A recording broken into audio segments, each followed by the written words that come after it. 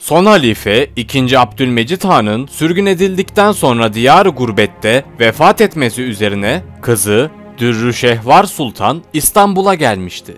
Savanora yatında İsmet İnönü'nü ziyaret etmiş ve kendisinden babasının vatan toprağına gömülmesini rica etmişti. 6 asır cihanı aydınlatan bir neslin son temsilcisinin bu vatan toprağına gömülme isteğini İsmet İnönü reddetmiştir. Sebep olarak ise halk tarafından mezarının bir ziyaret yerine dönüştürülebileceği endişesi gerekçe olarak gösterilmiştir. Ve Hindistan hükümetinin araya girmesiyle Suudi Arabistan makamlarından izin alarak Medine'deki Cennetül Baki kabristanlığına defnedilmiştir.